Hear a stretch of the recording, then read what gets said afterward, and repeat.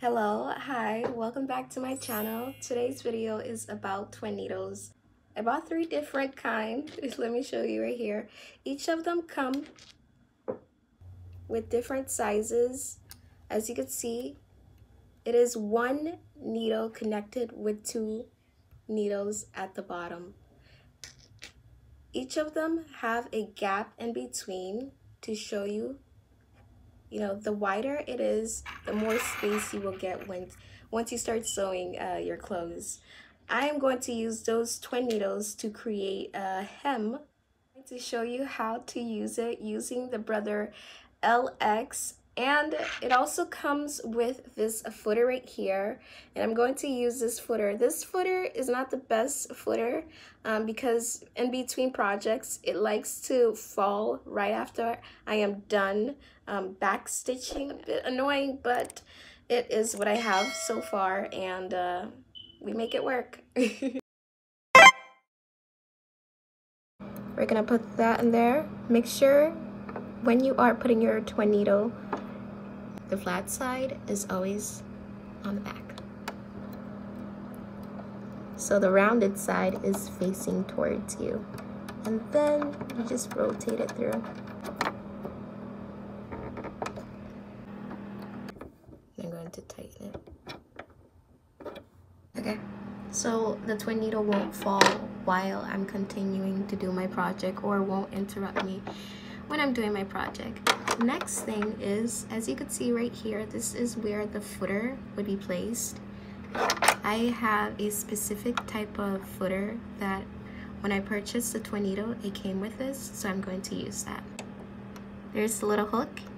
You attach the hook to the footer. Or the footer to the hook. now you place it down, just like that. So you'll see there's like a little hook area. What you want to do is get the thread in that hook. Afterwards, you're going to turn your handle towards you so it could rotate and your first stitch will occur, but it won't stitch because there's no fabric and you, you just want your thread to go up. Here goes underneath, pull it, see what's happening? Okay.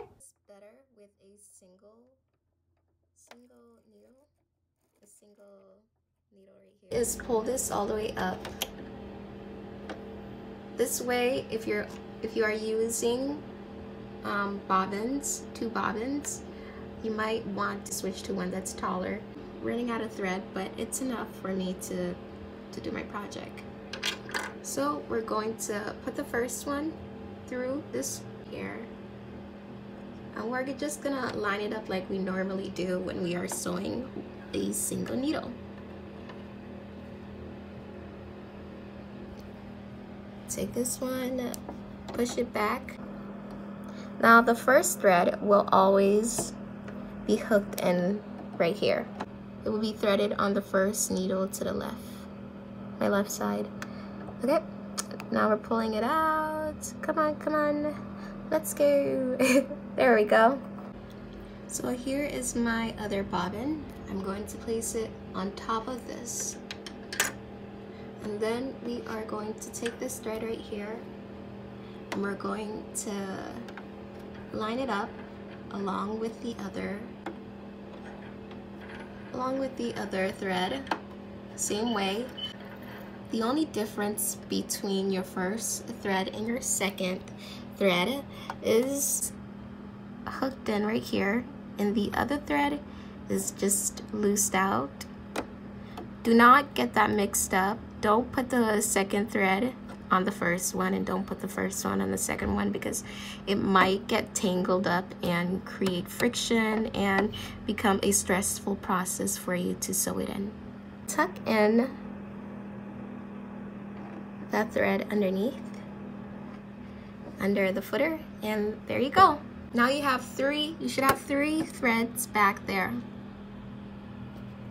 This is what I'm going to sew. I'm going to hem the bottom of this since I don't have a serger or a top stitch uh, machine, I'm going to use my double needle to create this double double lining. That's a top I've been working on.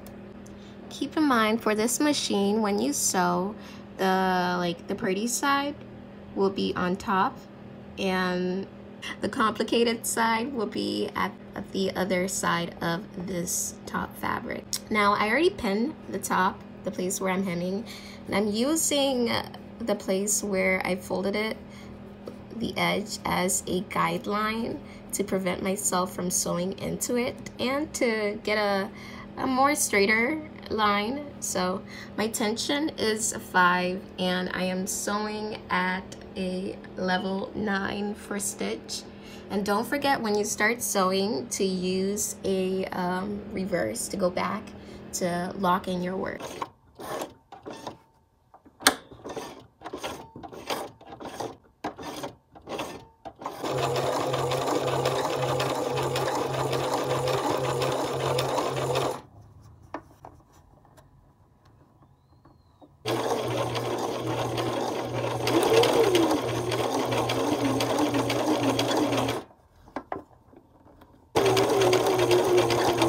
You see, right here, it started well, and then there is a loop.